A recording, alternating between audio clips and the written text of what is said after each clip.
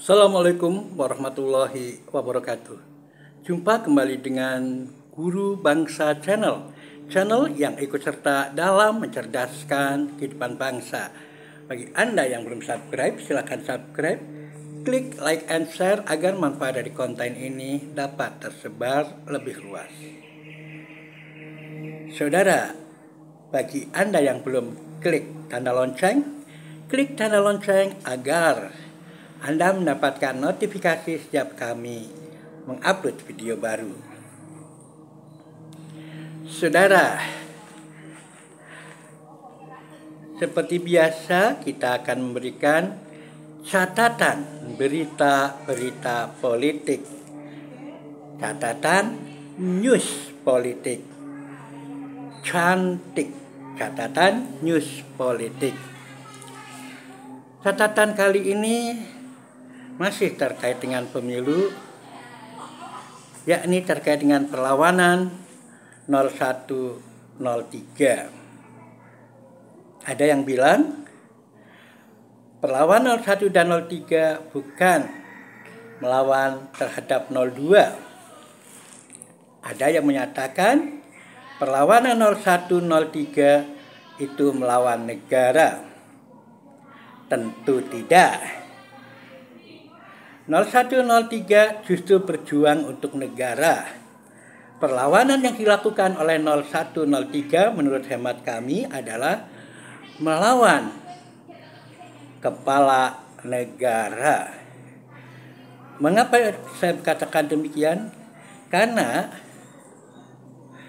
saya melihat bahwa yang menjadi permasalahan inti adalah ambisi dari politik dinasti dari kepala negara dalam hal ini adalah Jokowi.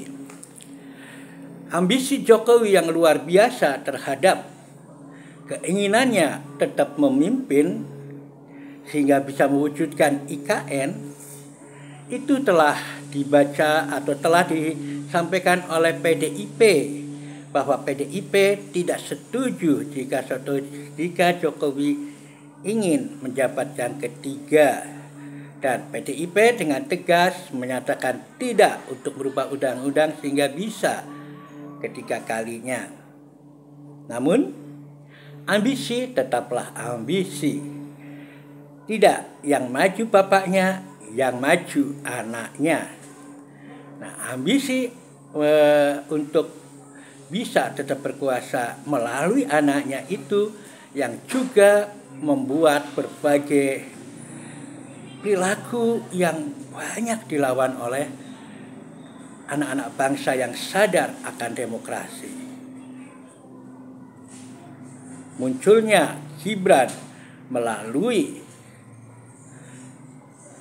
klaus dari Pak Us, Paman Usman, MK dengan klausul membolehkan di bawah 40 asal sudah pernah dipilih atau eh, mengikuti pemilihan yang dipilih secara umum membuat Gibran bisa maju dan dalam tingkat MK MK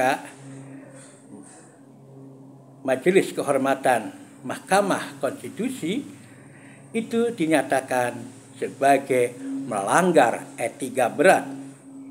Namun rupanya melanggar etika berat tidak menjadi halangan bagi mereka dan tetap maju 01 eh menjadi tetap maju kemudian mendapatkan undian 02. Bagaimana sikap Prabowo ketika harus mengganti sebetulnya bisa mengganti itu dipertanyakan oleh Anies Baswedan melalui dialog atau debat presiden. Dan apa yang didapatkan oleh Anies? Pada akhirnya Anies justru diolok-olok di luar debat dengan istilah etik dasmu. Bahasa sarkas yang menunjukkan sakitnya hati sang pengucap Prabowo. Nah, dari situlah muncul berbagai perilaku yang mungkin dan sangat mungkin untuk mewujudkan ambisi itu. Banyak hal yang dilakukan termasuk pelanggaran-pelanggaran kampanye yang seolah-olah tidak apa-apa melakukan money politik dan seterusnya. Saya menangkap sendiri bagaimana Gerindra membagi minyak goreng dan gula serta brosur kampanye di malam minggu di Malioboro. Dan itu menjadi salah satu dari konten kami. Itu adalah siaran streaming. Dan itu bukan rekayasa. Artinya mereka merasa jumawa merasa tidak ada yang berani menegur dan sebagainya yang ujung-ujungnya adalah berbagai perilaku yang memungkinkan rakyat melawan termasuk keanehan-keanehan si kerap yang secara naif dihadapi oleh Bawaslu dan eh oleh KPU dan tentu saja Bawaslu. Hidup di era digital, era digital of things, tapi berperilaku seperti hidup di zaman batu. Demikian mudah-mudahan ada manfaatnya. Assalamualaikum warahmatullahi wabarakatuh.